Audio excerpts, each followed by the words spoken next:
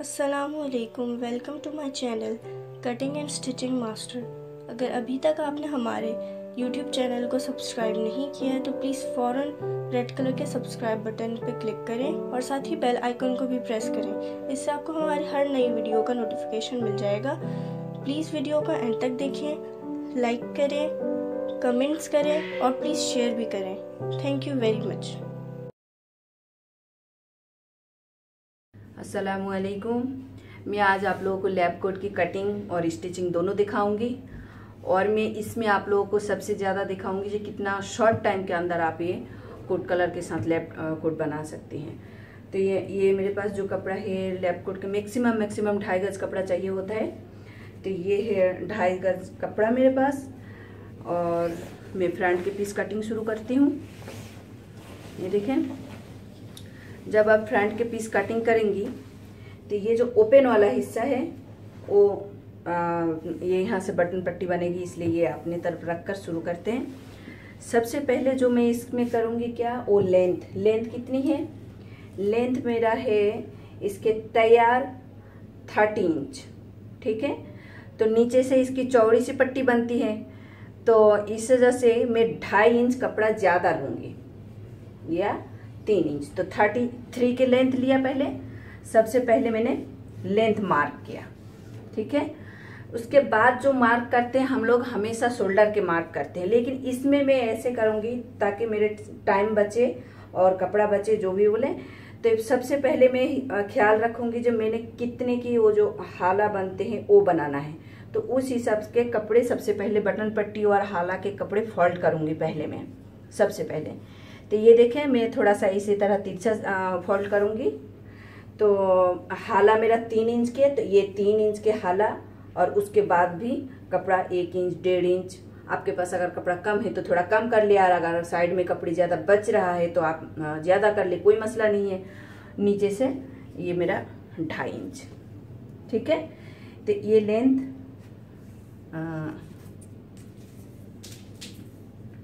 Permanent हो जाए। ये लेंथ ठीक है? सबसे पहले मैं इस हिसाब के फोल्ड कर लिया।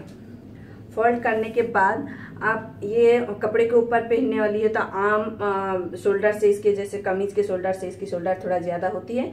तो ये देखिए इसके शोल्डर है साढ़े सात इंच। साढ़े सात इंच के शोल्डर के साइज़ ले।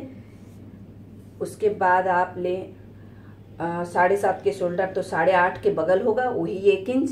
क्योंकि कपड़े के ऊपर पहनने के लिए बगल भी उतना ही लूज होनी चाहिए, ठीक है? आप इसके छः इंच नीचे, बिल्कुल कमीज के तरह निशान लगाए। छः इंच नीचे इसके हो गया कमर का निशान। ये ये देखिए, यहाँ से सात, साढ़े सात तो यहाँ से भी आप साढ़े सात के लेकर ये स्ट्रेट करें। चेस्ट इसके बीस इंच, उन्नीस इंच बल्कि साढ़े नौ।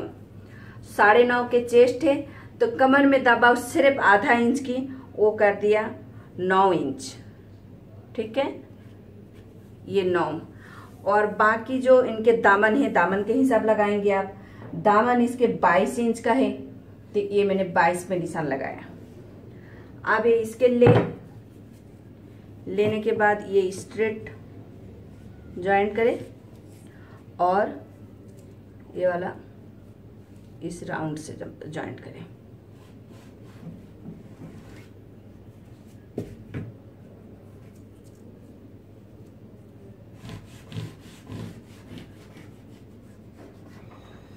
ठीक है अब देखिए, ये इसके शोल्डर काफ़ी नीचे तक होता है। कम से कम एक से सवा इंच नीचे आप शोल्डर के कटाई करेंगे। ठीक है? ये तीन इंच के मेरे हाला है इसके। हाला के भी मैं निशान लगाऊ। यहाँ से तीन इंच और यहाँ से है इसके साढ़े तीन इंच।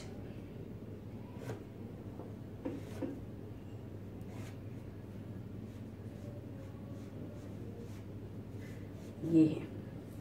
अब जब मैं शोल्डर की कटिंग कर रही हूँ, ये देखें, ये इस तरह से गए साइडों से आप थोड़ा थोड़ा ही कपड़ा रखें, इसमें एक सीज कपड़ा रखते नहीं है, आधा इंच पौना इंच का कपड़ा।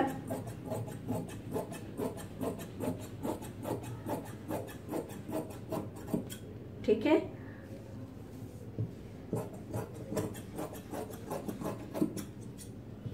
ये फ्रंट पीस पिन अप करें।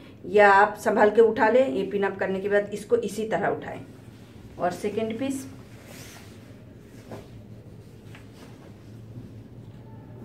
बैक पीस जब काटेंगे तो बैक में भी एक इसकी प्लेट आते हैं और बैक में बीच में कट होते हैं। तो उसके देख ले, ये दो दो इंच के मैं गैप छोड़ रही हूँ बैक में। ये देखिए, इस बार मेरा ये कटा हुआ साइड में है, जुड़ा हुआ बीच में है।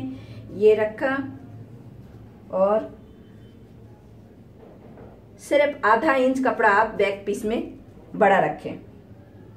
और बिल्कुल इसी तरह काट लिया यहाँ से दो इंच, यहाँ से दो इंच रखा मैंने। दो इंच में आप निशान लगा लें, ताकि जब आप सिलाई लगाए तो आपको सिलाई के अंदाज़ा हो जो कितना है। ठीक है? ये देखिए यहाँ से आप आठ इंच, साढ़े आठ इंच पे एक निशान लगाए जो पीछे का काट होगा, साढ़े आठ इंच में क्योंकि नीचे से मोड़ने के बाद एक कट तकरीबन साढ़े पाँच छ इंच का तैयार होती है। अब ये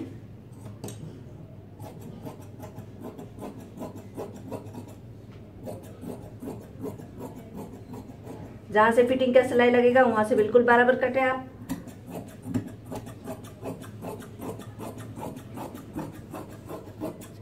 ये हो गया मेरा बैक और फ्रंट के कट कटिंग अब ये जो मैंने निशान लगा लिया ये साढ़े आठ पे मैंने यहाँ पर एक कट लगाऊँगी।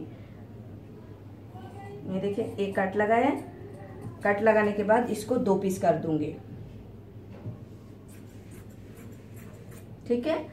ये हो गया। अब ये जो हाला मेरा, हाला देखें, काट रही हूँ डबल रख कर ही।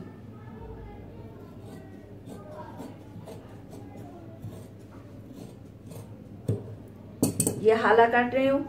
अब ये जो कॉलर लगेगी, कहाँ तक कॉलर लगेगी? यहाँ से डेढ़ इंच में आप एक टुक लगाए, जो उतना तक ये बंद होगा ऊपर से बाकी कॉलर लगे। देखिए, टुक लगाने के बाद अब आप देखिए जो मेरा बैक ना उल्टा पीस कौन सा और सीधा पीस कौन सा। तो मैं इसको इस तरह से दोनों साइड के ऐसे रखकर सिर्फ़ ये टुक तक एक सिलाई लगाऊँगी। ये टुक तक। और इसी तरह, जिस तरह से ये है, इसी तरह इसको प्रेस करूँगी। ये क्रेस लगाने के बाद देखिए, ये लेफ़्ट और राइट की पीस ये हो गया। अब ये जो बैक पीस है ना, मेरा बैक पीस का जो आधा इंच मैंने लंबा ज़्यादा रखा है, ये देखिए शोल्डर के साथ बिल्कुल बराबर रखते हुए, वो आधा इंच में इस तरह से गुलाई दूँगी। वो आधा इंच सिर्फ़ आधा इंच इस तरह से। ठीक है? ताकि मुझे शोल्डर जोड़ना आसान हो जाए। ये हो गया। ये देखिए मैं अभी इसकी कॉलर के कटिंग शोल्डर के सिलाई लगाने के बाद भी कर सकती हूँ।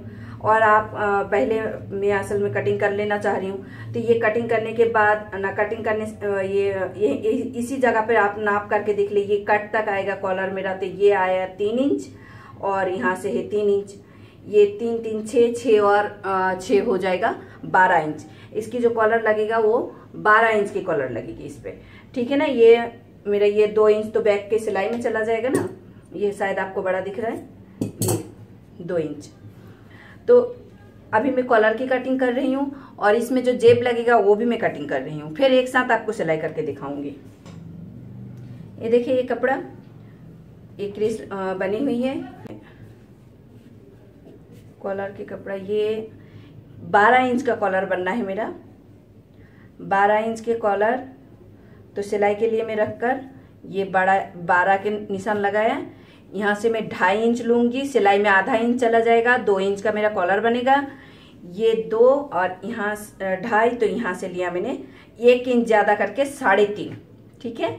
तो आप पीछे की जगह तीन इंच है, वो समझ ले, स्ट्रेट आए। उसके बाद राउंड आए, जैसे शेरवानी की कॉलर काटने के लिए हम लोग करते हैं। तो ये स्ट्रेट आने के बाद इस तरह से थोड़ा राउंड आए और मैंने ये सिलाई के लिए मार्जिन छोड़कर ये कटिंग कर लिया।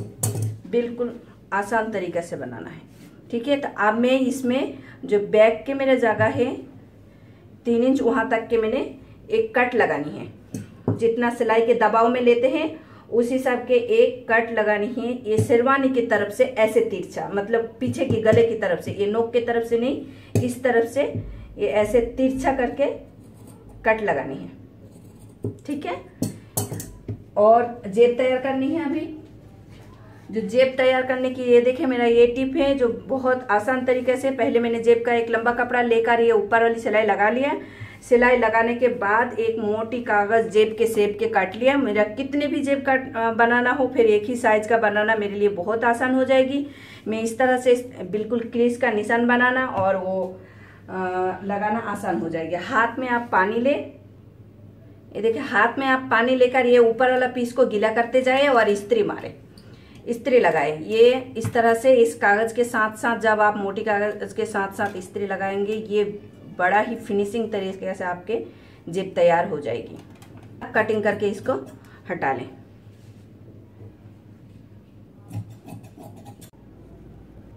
ये देखिए, ये स्लिप्स की कटिंग आप फॉर्मल से साइज़ ले लें। ये मेरा साढ़े नौ का कटेगा। इसकी बगल साढ़े नौ का होगा। लेंथ तैयार इसका अट्ठारह इंच की है। ठीक है? तो ये मैं कपड़ा इस तरह से डबल किया। ये साढ़े नौ का कपड़ा हो रहा है आराम से मेरा बाजू बन जाएगा। और मैं तीन इंच की इसकी भी लेंथ बढ़ाऊँगी। ये मेरा बीस इंच की लेंथ है स्लिप्स के।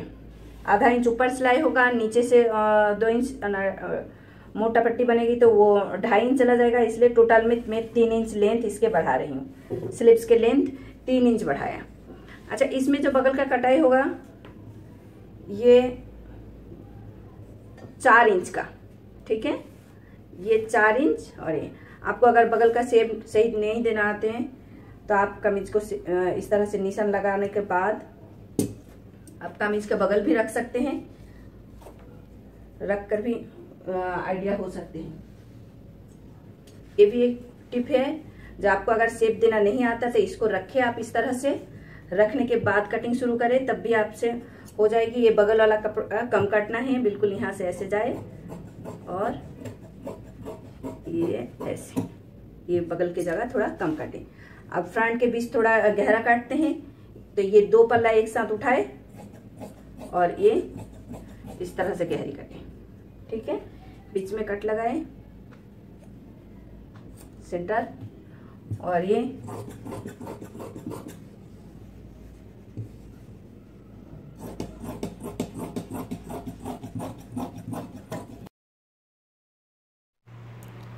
ये मेरा बैक पीस है, जो दो इंच की मार्जिन रखा था, उसमें मैं सिलाई लगा लिया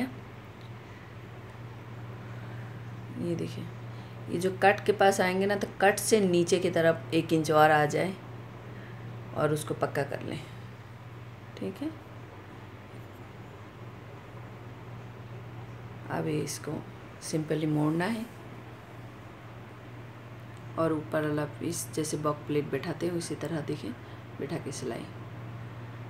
ये हो गया। सीधा साइड सीधा साइड में देखिए फ्रंट के गला। जो फोल्ड किया हुआ था कपड़ा, वो अलग करके बिल्कुल शोल्डर के, सिर्फ़ एक एक कपड़े के शोल्डर जोड़ लिया। फ्रंट के पीस जोड़ लिया मैंने। ये देखिए, दोनों साइड के जोड़ लिया।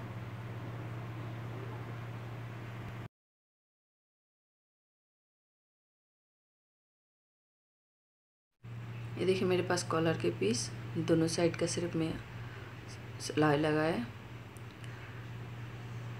सिलाई लगाने के बाद इसको टर्न करें। टर्न करके सफ़ाई से प्रेस लगा लें इसको।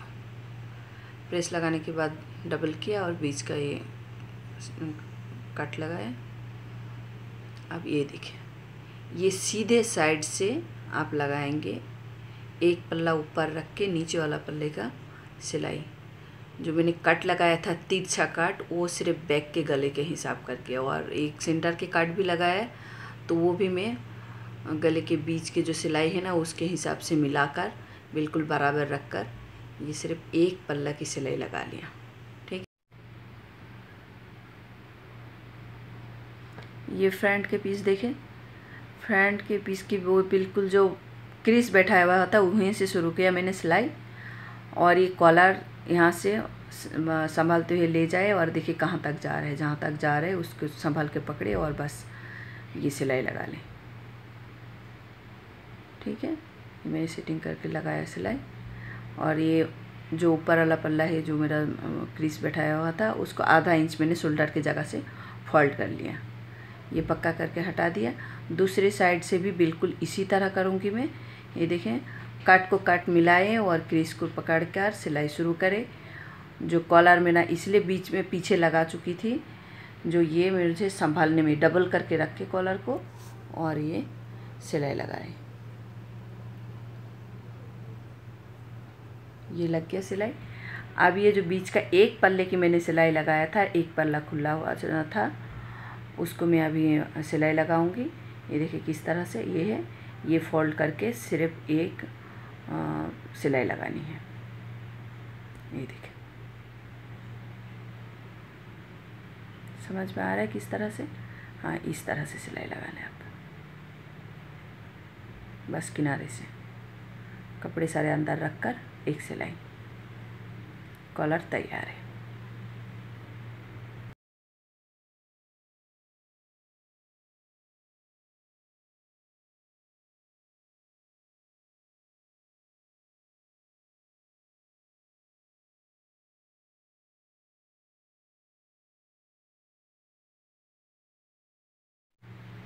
ये देखें।